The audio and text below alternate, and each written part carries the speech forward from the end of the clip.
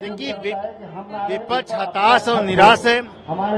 छह चरणों के चुनाव ने तो जो उसकी रुझान दिखाई पड़ रही हो भाजपा 360 क्रॉस कर चुकी है। और इस कारण से विपक्ष के हो चाहे अखिलेश चाहे राहुल यह बकलाहट में बात कर रहे हैं और चार तारीख को ये बोलने वाले हैं कि ईवीएम गलत था। ये चार के बाद बोलेंगे अभी ये बोल रहे हैं। मिला है तो हमारे पड़ोसी को भी तो मिलना चाहिए।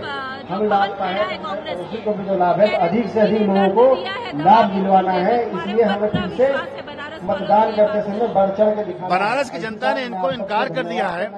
जो यहाँ के प्रत्याशी है वह चुनाव लड़ा है छठी बार। और छठी बार चुनाव में लगातार न फ़र्स्ट पर, न सेकेंड पर है, हर बार वो थर्ड पर है। और इस कारण से हताश, निराश लोगों के बारे में क्या जवाब दिया जाए?